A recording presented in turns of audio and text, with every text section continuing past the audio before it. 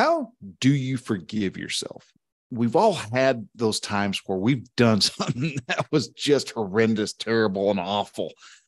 And uh, and we feel regret. We feel just lower than a snake's belly under a wagon wheel. I mean, if you that uh, it, you feel low, man, you feel real low.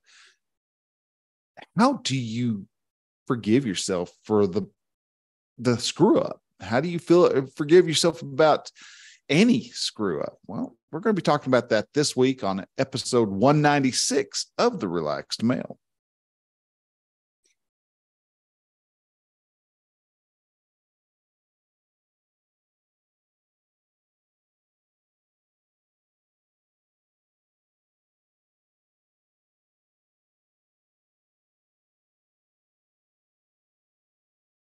Hey, man. Hello and welcome to the Relaxed Male. I am your host, Brian, and I am a certified men's coach that assists men who are just, just neck deep in the suffering of their life. Men who are going through a, a rough time, like a divorce or being fired from a job. Sometimes something that has happened where they're just so much overwhelmed, so much confusion. They've got mental spin just going crazy. I step in, I help men sort it out, help and help get them on their way. So help guys with that day-to-day struggle. And life can come at us fast. And sometimes we become so overwhelmed that we just don't know what to do next. And I just help these men. I get to the root of their suffering and help them step back, relax so that they can actually enjoy life. And each and every episode, we take a look and see what it takes to change how you look at your life how you have to look at who you are and the thoughts that you have surrounding all of that so that you can actually step through that pain and enjoy life on the other end. Stop being the victim, start becoming a, a victor. So guys thank you again for uh, for jumping in watching the show. Uh, i'm actually live on youtube. Going to start trying to do this uh, every week. I'm going to go live on youtube. Been actually planning and got a couple things that i'm working on. And because uh, november is national uh, podcast posting month so nan pod pomo i think is the way they call it. I'm not 100% sure that's exactly how it's pronounced but something similar to that. And anyhow it's a where you post a podcast daily. And so i'm actually getting prepped for that because with day job and all that not going to be able to get that fully done, fully done or at least not easily. And i'd like to try to show people that you can do stuff. You, you find a plan you can get it done. And this is just something a big challenge. So, you know what is it 30 days in november? And so that's you know that's 30 episodes of boom boom every day. So i know i'm not going to do a 30 minute uh, to an hour show. This is just these are going to be little short five ten minute quips boom and get in get out get done and get on down the road because i know y'all are going to end up being busy. And if i'm throwing a whole bunch out there y'all are going to go shoot man i am never going to get caught up. And you can it's not going to be hard and I've already started working on the uh, on the thoughts and all that. So it's it's great. So these are some fun things that are coming up. Another thing that is coming up, and I'll remind you also at the end of the show, but I have a try coaching event that is coming up, and it's just going to be done through through Zoom. If you're interested in seeing what it's like to be coached and to see that it's not so bad, I'm not going to jump down your throat and beat you up and call you a loser or anything like that. I'm going to just help show you what coaching is about and why it is such a powerful tool to have in your arsenal for those goals that you're wanting to achieve. If you're interested in that, October 14th, 10 a.m. is when it's going to be. And I'm going to coach. It's I'm setting aside two hours, but if if I end up getting 100 guys in here and they all want to be coached, dude, I'll be here a day until the night until whenever it is that I finally get all 100 of you gentlemen coached.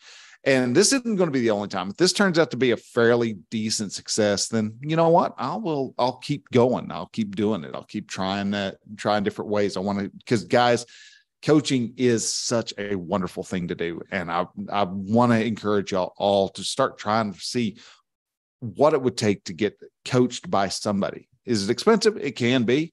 Is it? And that's one reason why I'm doing just a little free one. You're doing, you can do a ask a question we can coach through that question and and find a you know a nugget of solution that you can jump into so with that you know it's it becomes a you see oh it's not so bad i'm not going to die doing this and so i can actually have a a good chance of finding that success getting that fulfillment that i actually want so guys if you're interested like i said october 14th 10 a.m. All you have to do is go to relaxedmale.com forward slash try coaching, all one word.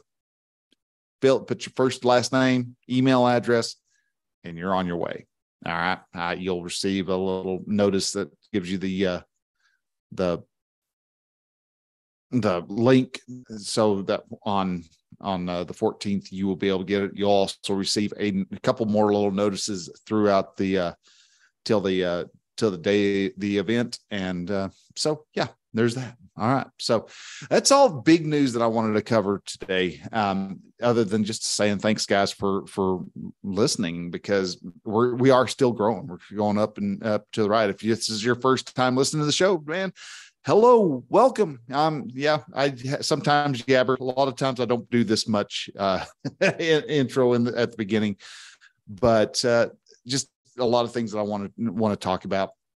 But uh, if you're new and you're you find that the the information that you're going to grab in this show is useful, it resonates with you, and you understand how it can help you, then please I ask you to hit the follow, share button or follow, uh, subscribe button on whatever podcast app of choice that you have, and you will get this podcast episode downloaded each and every week.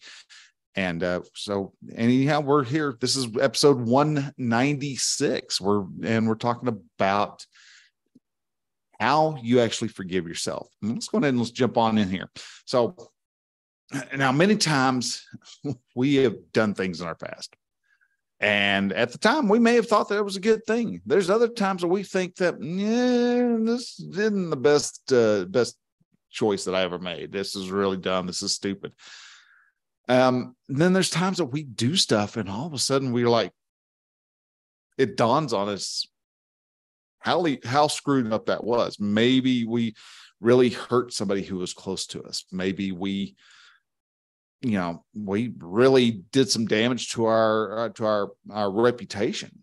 we have we fell out of alignment of our integrity and stuff. We just took our whole set of values and just crumbled them up wiped our butt with them, tossed them over our shoulder, and just went into, you know, just threw all all of our self morals out the window and just did something that was horrendously terrible. Once the hangover has kicked in and you're waking up wondering what the hell you did to yourself,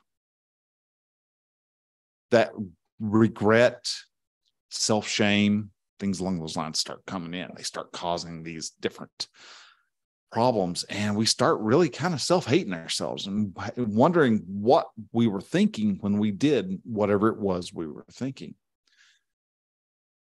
And that's where this episode starts to help because I want to help you first understand how you get past the fact that you did something that was downright dumb, downright stupid. And you're just, it's like, how do I, am I going to even uh, live this down? And it's, it's not a, you know, it's not easy. It's, it's not easy. Forgiving yourself can be incredibly hard. And the reason why is because it's you. You are your own worst enemy. We've always been our worst enemy. We are our hardest critic. We, uh, we, you know, I, I could look over here, you know, uh, oh, yeah, see my little, my little cowlick over here. My hair's growing out and I could throw a fit because I'm on camera right now, Dad Gummit. I should be having a little better, uh, better, you know, condition of my hair. But sadly, I have grown up with this little, little cowlick my whole life. And I either have to have my hair stupidly short or really long, but I, am a blockhead, and so this section of my hair grows out a lot faster, and so I get this this weird, I, I uh, weird thing going on with my hair where I, I look almost Kramerish, and I can actually get it's it's terrible. So yeah, so we got you know we can do things, and I don't even know where I was going with that whole hair thing, but anyhow we we start having our uh, throwing doubt and shame and and self-loathing on ourselves. And that is where we get ourselves into trouble because with that self-shame with that self-doubt with the self you know incrimination self just you know beating ourselves up day in day out about all the dumb stuff we've done. And we've done dumb stuff. We're humans. We're going to do dumb stuff, especially when because us humans have emotions. And emotions are just the most wonderful and messiest parts of being a human. And so you gotta you got to start understanding how to give yourself grace and we're to get into that so but anyhow to start with how do you get past your screw up? How do you get past the fact that you did something that you are ashamed about? Well, first off is you got to pay attention to what your thoughts are. Your thoughts are constantly going to be creeping in, going, dude, you're an idiot. You're a moron. You did I can't believe you did that. You're going to get, you know, people are not going to like you anymore because you did X, Y, and or Z. And your mind is set to beat you down. And the reason why it does that is because if it can keep you beat down, you will stay small. And if you stay small, you won't be seen as much. And if you're not seen as much, you're going to be a lot more alive. you're going to live longer in its mind, except for the fact that you have to leave the, the cave to go get food. You have to do dangerous stuff to to be able to actually live and that's one of the big things that we have to understand is that we have to do dangerous things to be able to keep our ourselves going keep ourselves alive keep ourselves on the face of this earth. And if we don't and we stay hidden we become you know agoraphobic i think that's proper phobia um, afraid of going out and stuff. If we become agoraphobic then we're going to we're going to starve and die if it gets bad enough. And a lot of people who claim they have you know social anxiety is just they're just experiencing that anxiety and not allowing it to, to flow through. So they, and so that uh, causes them to feel bad about themselves. And so we beat ourselves up if we don't have an intentional mind. If we don't let, don't pay attention to what our thoughts are, we will always be beating ourselves up. It was subconsciously, or not even subconsciously, but we have a conscious thought, we have an intentional thought and a conscious thought.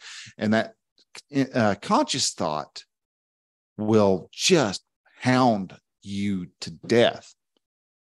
Another problem that you want, or another reason why you want to pay attention to what your thoughts are, is because our brain, being the criminal that it is, and it will, it it they it likes to do things that are that are uh, that are quite uh, devious in ways but it loves to return to the scene of the crime. So you'll ruminate and you'll go over the same scenario over and over and over again, and you're still not coming up with any solutions. And that, you know, that whole definition of insanity of trying the same, doing the same thing over and over, you're going over every little detail and you're not even making any changes. Oh, I could have done this and it would have been all right. I done this. Well, guess what, dude?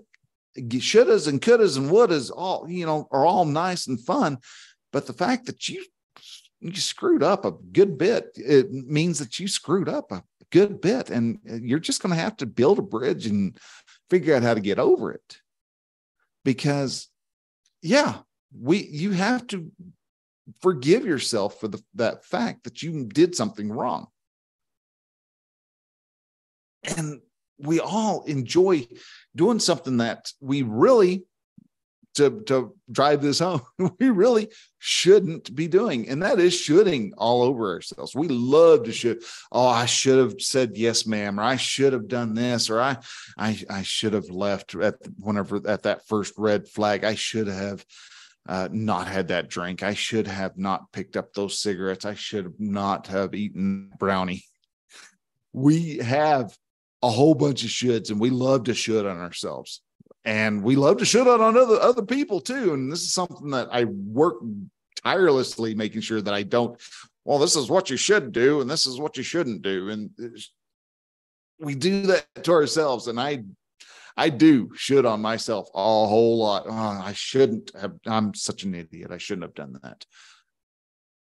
Stop shooting on yourself because shooting on yourself doesn't fix the problem.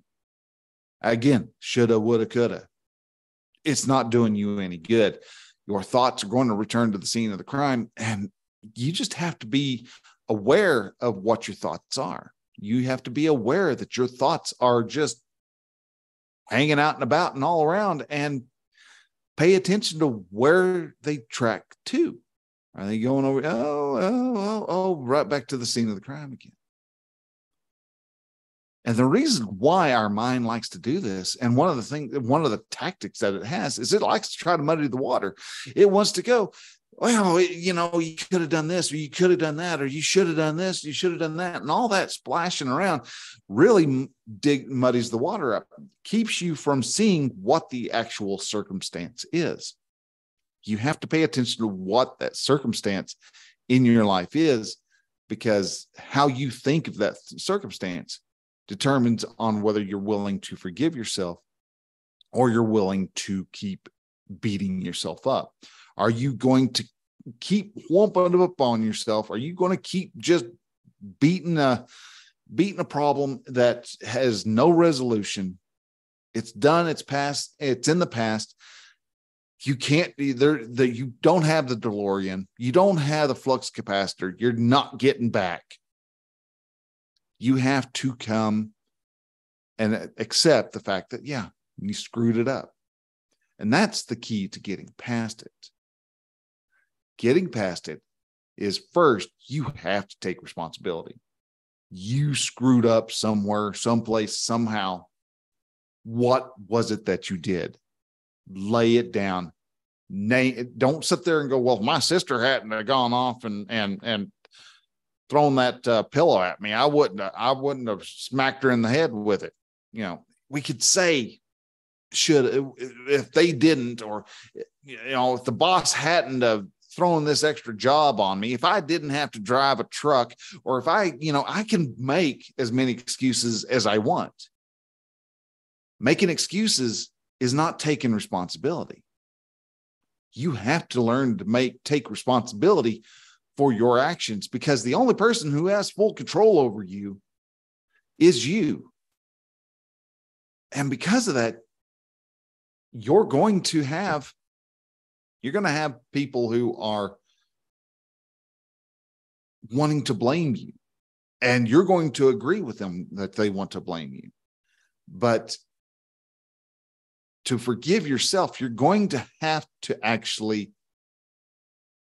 accept the fact that you're the only one who consciously made that choice.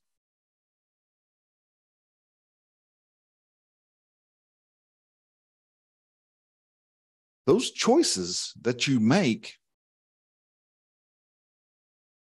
the scenario you found yourself in, those were all part of the the whole the whole arena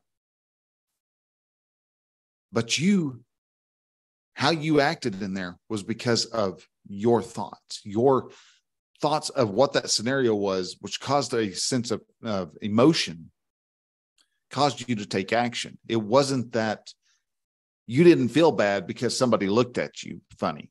You felt bad because somebody looked at you and you interpreted that look as being funny.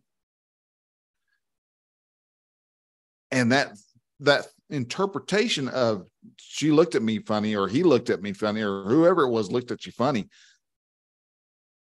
caused the emotion of you know of uncertainty to creep up. And because you were uncertain you changed your script on the fly and you did something that wasn't rehearsed and it didn't turn out right. And so you are beating yourself up over that. How can i ever forgive myself for i knew what i was supposed to say and i said the exact opposite. I'm such a freaking moron. Are you a moron or did you just have the wrong thought? Because you had the wrong thought there's a big fix in that. You can start having a better thought someone looks at you funny, eh, okay, congratulations. You know, maybe I've got a piece of uh, spaghetti hanging in my beard or something. You don't know. so, so take responsibility. And with that responsibility, voice the it is poor phone is is dying and so my my silent uh, uh my silent switch on the uh, on the side doesn't work anymore apparently. Well it works but it it's it's it's iffy. So anyhow.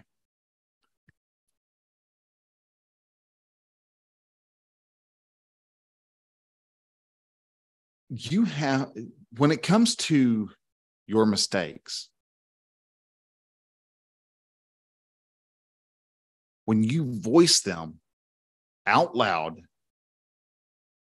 you're taking that power away from it, away from your mind, where all of a sudden uh, it's it, it's the shame of what you've done. You voiced it. Yeah, I I stole the candy bar at the uh, at the convenience store. I walked out without paying for my drink. I whatever it is that goes completely that is eating you up, that's causing that guilt within you, that's causing that shame.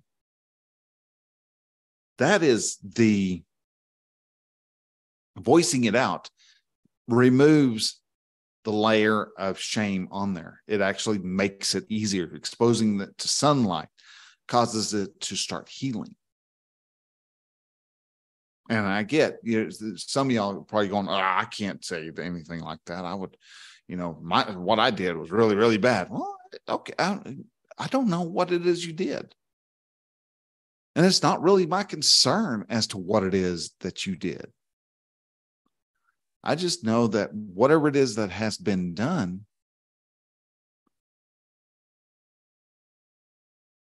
is in the past. And the reason why that big, bad, scary past is big, bad, and scary is because you're allowing it to be big, bad, and scary.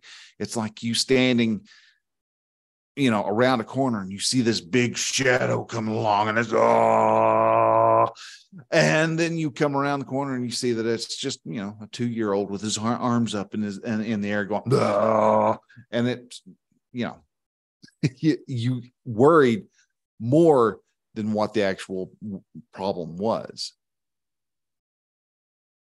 But you have to decide is it, you know, is this something that you're, you have, you can voice out? Uh, you know, you, don't have to tell, say it out loud with somebody around. If you're out in the middle of a field, you could say, you know, I wanted to, uh, wanted to kick my sister in the face or whatever, you know. You can you could say that and no one's going to be around to to hear it, but your brain is there and it's you're separating that whole problem away so that you can actually start allowing the thoughts to to flow and how you can actually start fixing whatever issue you end up having but the biggest part of it is, is you have to take that responsibility. The next thing is grant yourself some some grace. Now, if you don't know what grace is, grace is unearned forgiveness. It's real hard for somebody who's wanting to beat themselves up. But if you can, if you forgive yourself for the damages you've done, you, and you'll have to and I'll, I'll preface this with or I'll voice out that this is something you're going to do on a very regular basis. This is something that you have to do repeatedly, especially when you start seeing yourself going back to the scene of the crime. You start reliving whatever that horrible deed was that you did. It's like you have to, when you start seeing that and when you start ha- mentally being able to notice that you're back at that scene of the crime of shame, you can stop that thought. You actually have that ability. You can stop whatever thought you're having, stop it and go, it doesn't matter. I've forgiven myself for what I've done. Now, if you did actually commit a crime, there's a good chance you're still going to have to pay for the crime. You're still going to have owe a debt to society. So if you went out and shot somebody in Reno because you just wanted to see what it was like to have him die in front of you, you're you're going to wind up over in Folsom Prison anyhow.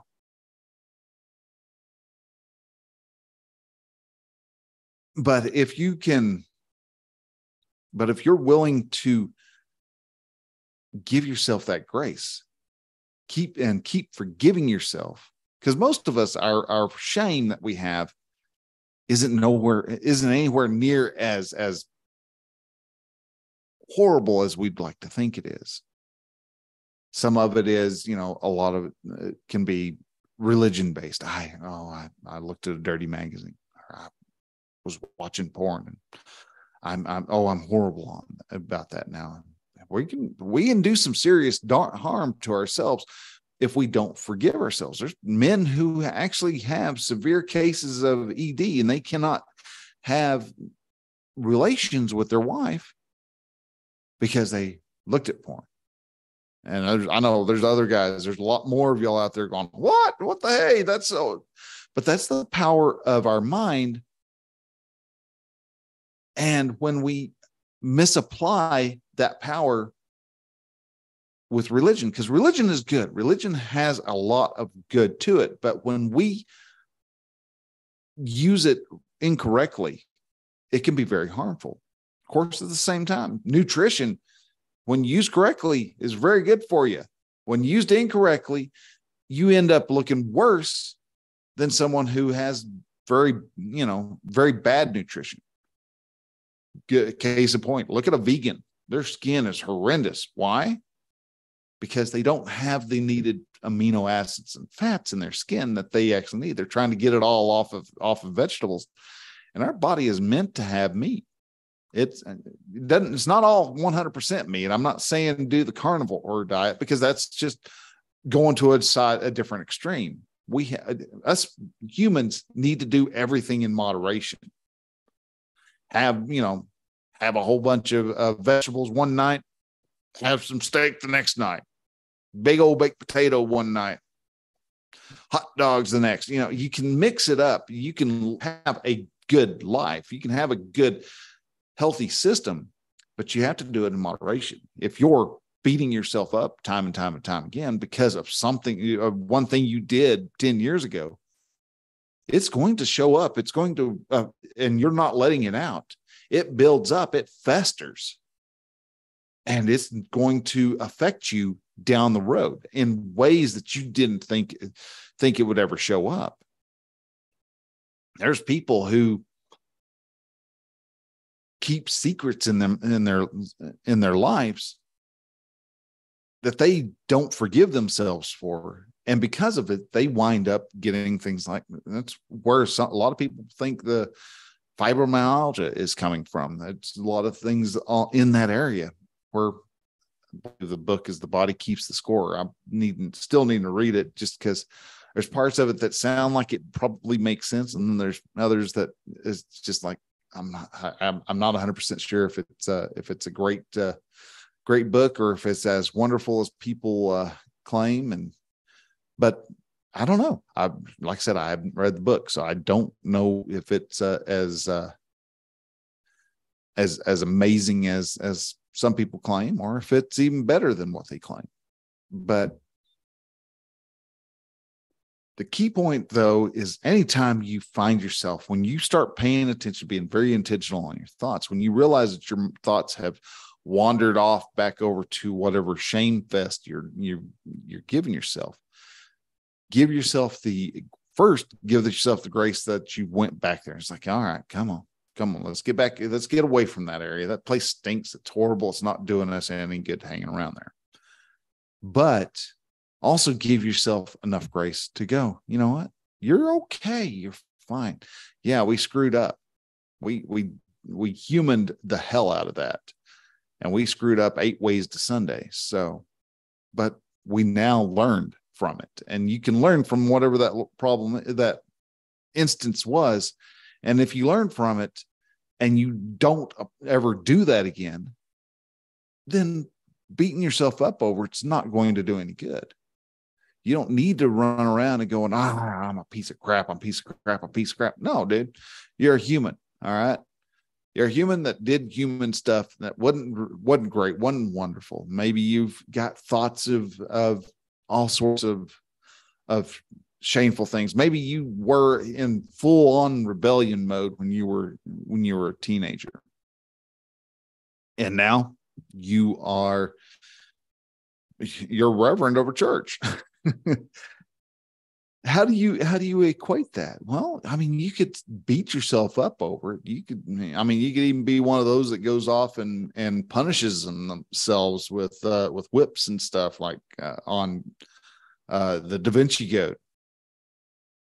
Or you could go ahead and just grant yourself grace. And that's the key part of it is when you're forgiving yourself and you're working on getting past that shame you have to be able to grant yourself grace because yeah it sucks. It's not the funnest thing in the world but the, that grace that you apply to yourself allows you to uh, start applying grace to other people. As the as the bible verse goes the second greatest commandment is love thy neighbor as you as you love yourself you can't love your neighbor until you start loving yourself. You can't forgive your neighbor until you can forgive yourself. That's where whole, so much of the uh, anyone not guilty can cast the first stone. You can sit there and we can cast judgment, and we do. We cast judgments all the time, and even minute ones and, and inconsequential judgments of, you know, I want a Coke tonight or I want a Dr. Pepper. You made a judgment call. I'm going to have ice cream. I'm not going to have ice cream. That's a judgment call. You made a wrong judgment call somewhere in your life, and the effects are what you're wrestling with now. It's a bad judgment call. All right you can beat yourself up if you want, or you can learn from it. You can take the lessons you need from this particular problem and rectify it and grow from it and become a better person. Because if you don't, you're going to have that struggle. You're going to suffer needlessly because of that. You're suffering and, need, and needlessly suffering because you didn't forgive yourself and you're beating yourself up and you're just being rather vicious too towards yourself. And if you don't you're going to have those problems. You're going to not see yourself worthy of joy. And so when you start feeling joyous about something you find a girl that you like and you're not worthy of joy you're going to do something to drive that girlfriend away because you're not worthy of having a, a wonderful woman. Yeah you are you're very much worthy. If you're working on yourself and bettering yourself, you're very much worthy. If you're not working on yourself, you're still actually worthy of having a beautiful, wonderful, caring woman.